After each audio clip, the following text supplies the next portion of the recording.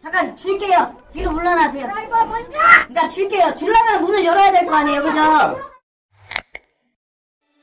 지난달 경기 군포시의 한 병원에서 한 환자가 흉기로 난동을 부렸습니다. 이번 환자인 50대 A 씨는 간병인의 얼굴을 폭행한 뒤 흉기를 들고 간병인과 환자를 위협했습니다. A 씨는 거치대 높이가 마음에 안 든다며 드라이버를 가져달라고 요구했습니다.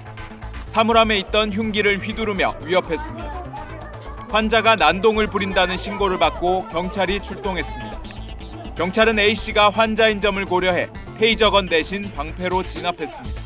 하나, 둘, 셋. A 씨는 자택에서 심정지를 일으킨 뒤 회복하기 위해 입원 중인 상태였습니다. 경찰은 특수 협박 혐의로 A 씨를 체포했습니다.